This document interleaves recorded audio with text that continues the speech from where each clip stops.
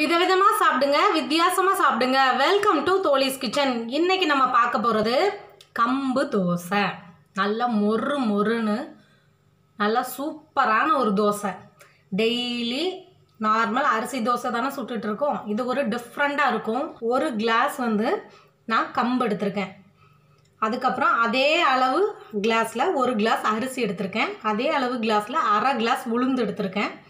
ஒரு அரை ஸ்பூன் வந்து வெந்தயம் எடுத்திருக்கேன். இந்த நாலும் தான். இந்த நாளையும் ஃபஸ்ட்டு நல்லா ஊற வச்சுக்கலாம். இந்த கம்பை தனியாக ஊற போட்டுக்கலாம். ஏன்னா கம்பில் வந்து கட்டாயம் சின்ன சின்ன கல் இருக்கும். நீங்கள் என்ன தான் நல்லா சலிக்கப்பட்ட கம்பு வாங்கினா கூட ஒரு ட்ரிப்பு அதை கழனி பண்ணுவீங்க பார்த்தீங்களா அப்போ வந்து செக் பண்ணிக்கோங்க. அதுக்கப்புறம் இந்த அரிசி இந்த உளுந்து இந்த வெந்தயம். இந்த மூணையும் போட்டு தனியாக ஊற வச்சுக்கோங்க. இப்போது நம்ம மூணு டு நாலு மணி நேரம் வரைக்கும் நல்லா ஊற வச்சாச்சு. ரெண்டுமே நல்லா ஊறிடுச்சு இனி இதை அரைச்சிட்டு அதுக்கப்புறம் பார்க்கலாம் அரை இப்போது நம்ம மாவு அரைச்சி கரெக்டாக ஒரு பத்து மணி நேரம் கிட்ட ஆகுது. பத்து மணி நேரம் நல்லா ரெஸ்ட் கொடுத்தாச்சு. இனி வந்து இப்போ அதை நல்லா கலக்கிட்டு நம்ம தோசை வார்த்துக்கலாம் இப்போ அடுப்பை ஆன் பண்ணி தோசைக்கல் வச்சாச்சு.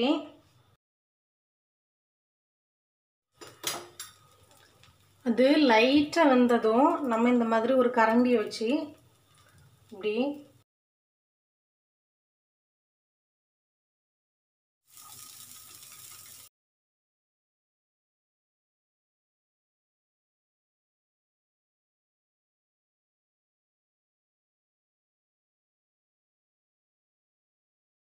இருங்க இன்னொரு கோன் தோசை செய்யலாம்.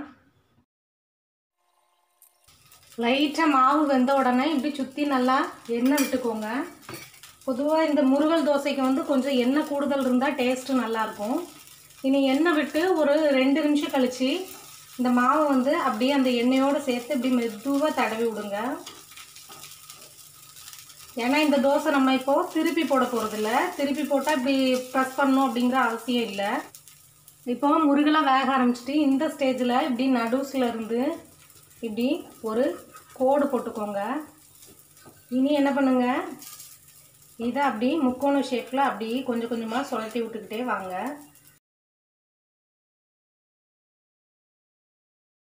இப்போ நம்ம முக்கோண தோசை ரெடி ஆயிடுச்சு இது வந்து ஒரு நாள் நான் கடைக்கு போயிருக்கும்போது அந்த மாஸ்டர் வந்து செய்கிறத பார்த்துக்கிட்டே இருந்தேன்.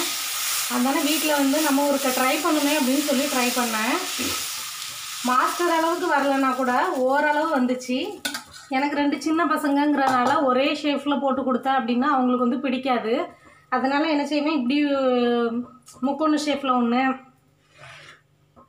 இந்த மாதிரி மொறு மொறுன்னு ஃப்ளாட் ஷேப்பில் ஒன்று இந்த மாதிரி நாலாக மடித்த ஷேப்பில் ஒன்று இப்படி கோன் ஷேப்பில் ஒன்று அந்த மாதிரி போட்டு கொடுப்பேன். அப்போ பசங்க வந்து நல்லா விரும்பி சாப்பிடுவாங்க. பியூர் ஒயிட்டில் வந்து எதிர்பார்க்க முடியாது. ஏன்னா வெந்தயம் போடுறோம் கம்பெல்லாம் போடுறதுனால அதோட கலரே கொஞ்சம் டிஃப்ரெண்ட்டாக தான் இருக்கும்.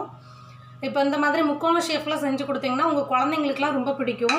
இந்த டிஷ் உங்களுக்கு பிடிச்சிருந்துச்சுன்னா நீங்களும் லைக் பண்ணுங்கள் ஷேர் பண்ணுங்கள் சப்ஸ்கிரைப் பண்ணுங்கள் மறந்துடாமல் பக்கத்தில் உள்ள பெல் ஐக்கானை கிளிக் பண்ணுங்கள் இதே மாதிரி நாளைக்கு நல்ல டிஷ்ஷோடு நாம் சந்திக்கலாம். அது வரைக்கும் உங்களிடமிருந்து விடைபெறுவது தோழிஸ் கிச்சனிலிருந்து உங்கள் தோழி. நன்றி வணக்கம்.